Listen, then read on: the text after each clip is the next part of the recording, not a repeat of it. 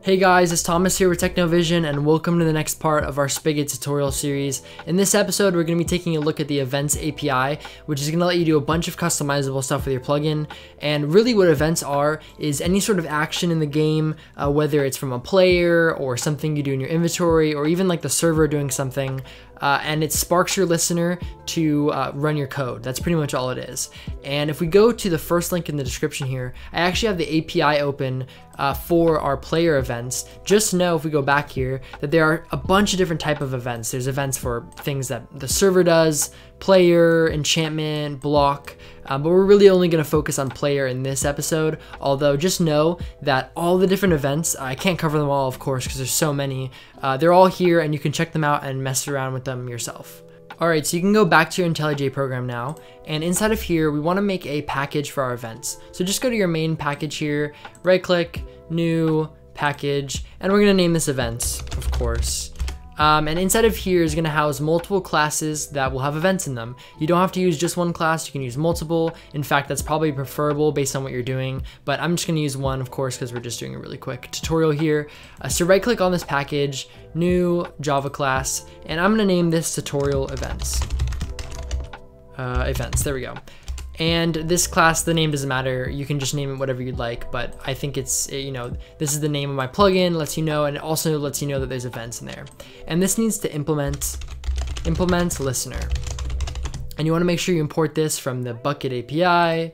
Uh, there we go. And a listener in Spigot is really um, just listening for an event, uh, those events that we looked at earlier. And once those events uh, get called or they happen in the server, then uh, it, this plugin will run your code essentially.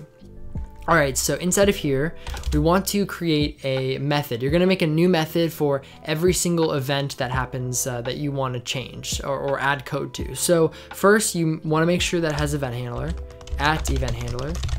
And this is gonna make sure that your listener is actually looking at it uh, and once we have that, we can actually make our method. So I'm gonna make a public static void method and the name, I'm just gonna name it whatever uh, corresponds with the event I'm using. So the event I'm gonna use, and again, it's in this list somewhere, I'm not gonna try and find it, but uh, I'm gonna use the player uh, join event. So uh, I'm gonna name this on player join. And I'm naming it this because this code will implement or will, uh, excuse me, will run when the player joins. So on player join, this code runs. And uh, the arguments are gonna be our event. So this is where you're gonna put the actual event. And in my case, it's the player join event. So player join events. And uh, you wanna make sure you import that first. There we go. And I'm just gonna name it, uh, you can name it E, E uh, I'm gonna name it event just so you can see it easier. Uh, but you can name it whatever you'd like, of course. And uh, Let's add some curly braces there. And inside of here, again, what this is saying is when this player join event happens, so when a, a player joins the server, this code is gonna be run. Uh, and that's made sure of because of the listener here. So what we can do here is we can take this event that we have here, event dot, and we can actually get the player. Get player. Oh, there we go. And I guess what I should have done is actually assign it to a player. So we want to make a variable, player, player, is equal to event.getPlayer. And we can import player uh, from Bukkit or Spigot. And now we have the player that actually caused the event. So in our case, the player that joined the server. And all we're gonna do now is send them a message. So player dot, and you can see this player has a ton of different options, just a bunch of different stuff that you can do really with them. Uh, but in my case, we just wanna send message and it's right there at the top.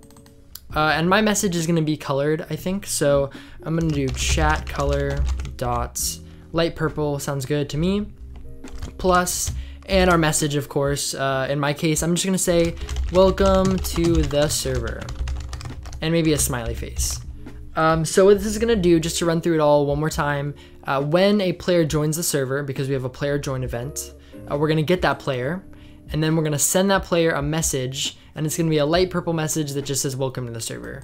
Uh, so now we're pretty much done. We do actually have to register our, um, our events. So go over to your main class here again, and on enable, we need to register everything. So right, below, uh, I guess right above, because uh, we don't want to do below since this, uh, this line says everything is finished. Um, we're gonna register it. So you want to get server dot get plugin manager dot register events. And in register events, the first you have to pass in two things. First, uh, your your events class. So new tutorial events, um, and we can import that. Uh, there we go, import. And we need to uh, pass in the actual plugin. So it's just this class. So we're just gonna type this. Um, and you're gonna have to do this for every new class that you um, you make events. So if you have a ton of events in here, that's okay. You can just do it one time. But if you had three different classes, for example, that all had events in them, you'd have to have three of these lines, each with uh, your new class right here. Uh, so now you're pretty much done. You can file, save all, uh, build, build artifacts, build, and that will build your plugin. And now we can actually go to our desktop, go to plugins, server, uh, just double check that it's in the plugins folder. There we go. That's our plugin. And we can run the server. Uh, and I will see you guys in the game once I join the server. All right, so I'm in the game and we can go to multiplayer and uh, there's our server right there. And if you, again, if you don't know how to connect to your server, I mentioned it last time, but you can just add a server and just type localhost and that will send you to your server. Uh, but when I join, we should expect a message. And there we go, you can see that there is a message there that says welcome to the server uh, right when we join. And just to make sure, um, if we join again, this should happen every time we join. There we go, so we can see we got the same message, so our event is working. All right, so now that we have one of our events working, we can actually go ahead and make a more advanced event, just so you can sort of get an idea of how this process works. So if we go to our uh, events list here, you can see that, again, we have a ton of events here. Uh, let's look for one that is interesting to me. Um, I am gonna do the player walk event. Where is it? Oh, there we go. Player walk event. So let's go to our, our IntelliJ here, go back to our events class, and we're gonna make a new method here. Make sure to add event handler. And uh, in this method, what I'm going to do is make, you know, sort of a more advanced event where when a player walks on a block, uh, if the block happens to be a stone block, then it will send the player a message saying, you know, hey, that's a stone block, just, you know, for testing purposes. So I'm going to do public static void, and I'm going to name this on player walk and we're gonna pass in the player walk event. Or I guess it's the player move event, excuse me. Uh, player move event, and I'm gonna name it event again. And that's of curly braces. And, oh, those are not the right braces. Curly braces, there we go. And we can import our player move event. All right, so inside of here, uh, the way I'm thinking about this is we get the block that the player is standing on, and then you know check if it's a stone block and then send a message accordingly. So uh, we can do lots of this lots of different ways. I guess the best way is to first get the the actual position of the block. So well let's first get the player. We want player player is equal to event dot get player. There we go just like last time. Now that we have the player uh, let's make three variables one for each position for the block uh, so I guess the best way to do this is to get the player's position first. So int x is equal to player dot get location dot get block x. All right, so that's gonna get the x location of the player. Then we can do the same, we can just copy and paste actually. Uh, we can do the same for y. So block y. Um, that's gonna assign to a, a, a variable or a variable a y. Um, and we can do the same for z as well. There we go. So now we have the x, y, and z coordinate of our player. Now that we have that, let's make a few spaces here. Uh, we want to get the block of the position that the player is standing on. So uh, I guess we should hold a material type. So material, um, let's name this uh, block is equal to, um, first let's import material uh, from Bukkit. And this is going to be equal to, I guess the best way to do this is to get player dot get world dot get block at, and we can pass in our x, y, and z, um, and then dot get type, which will get us the material type. Um, and now we have a problem here. This X, Y, and Z value is the player's location. So it's just going to return an air block because the player uh, isn't standing in a block. So we need to get the block directly below the player, the one it's standing on. And we can do that by just subtracting one from the Y value because if the Y value is the up and down plane in Minecraft, then the block the player is standing on would be one below uh, the player's location, if that makes any sense at all. Uh, so now we have the block that the player is standing on, uh, and now we can check uh, the block. So if block uh, is equal to material dot stone, there we go. Uh, so if the block happens to be stone, then we can player dot send message, um, and we can do chat color dot green maybe just for fun.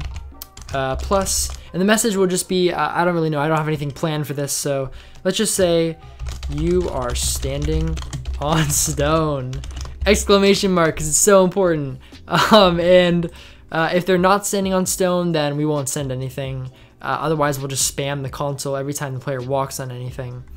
Uh, and I think that is good enough. So let's file, save all, build, build artifacts, build, and I will restart the server and see you guys in the game. Okay, so we joined the server, and I guess what we should do is get a stone block here. Uh, stone, there we go. And you can see that uh, we're walking around, there's no message being sent, so that seems to be working fine. But now let's make a line of stone, and when we move on the stone, it should spam us with messages, I would assume, saying uh, you are standing on stone. So here we go. Oh, and there we go. We, you are standing on stone. Very ominous message, uh, but you can see that it is working. And uh, let's just type like, hey. Uh, so as soon as we hop off the uh, the stone here, you can see that it is no longer sending because it's only sending, we checked if it's a, a stone block. Alright, so that's going to do it for this tutorial. Thanks guys so much for watching. I hope you learned a lot about events. And I just want to mention that in the description, I will have uh, a link to the Spigot page where they actually show you how to do uh, use the event API in um, in Words in case it's a little bit easier for you to follow. And it goes a lot more in depth about advanced functions uh, in case that's something that you're interested in. Um, so yeah, I just thought I'd, I'd put it down below uh, for ease of access. And please, please, please check out this documentation. It will literally show you every single event in the game, so there's no question about what events exist. Um, but yeah, I will also link hopefully a GitHub link in the description so you can check out this code if you want to mess with it yourself. But I will see you guys in the next episode.